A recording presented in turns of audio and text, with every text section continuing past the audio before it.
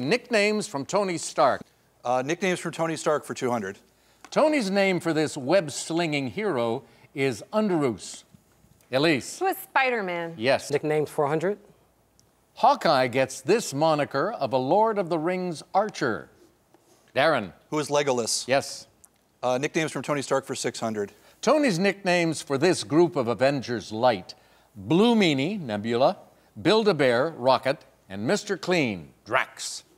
Elise. Who are the Guardians of the Galaxy? Yes, right. Nicknames 800, please.